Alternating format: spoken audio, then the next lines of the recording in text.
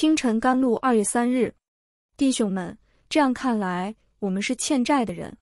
罗马书八章十二节，我们既是神所造的，就都欠他的债。我们当以全身、全心、全力来顺服他。我们因违背了他的命令，就都成了他的公义的债务人。我们所欠他的，是我们所无力偿付的。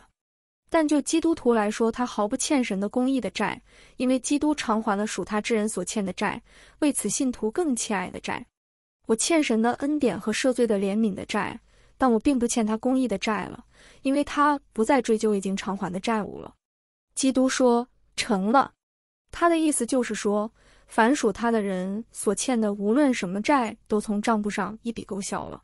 基督已完全满足神公义的要求，账目已经结清了。所记的账都已钉在十字架上了，收据也得到了。我们不再是神公义的债务人了。虽然从这一方面看，我们不再欠我们主的债，可是从另一方面想，我们更加欠我们神的债了。基督徒呀，且慢，你且默想一番，你欠神的权多少债呢？你欠他无私的爱多少债呢？因为他舍了自己的儿子为你受死，想想看。你欠他赦罪的怜悯多少债呢？你虽百般顶撞他，而他仍无限制的永远爱你。想想你欠他的大能多少债呢？他怎样把死在最终的你救了出来呢？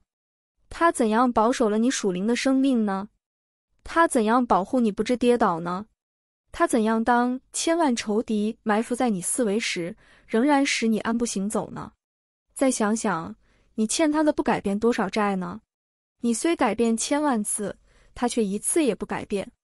你欠神每种神性和神德很多的债，要用你自己和你一切所有的偿还给神，将身体献上，当做活祭，是圣洁的，是神所喜悦的。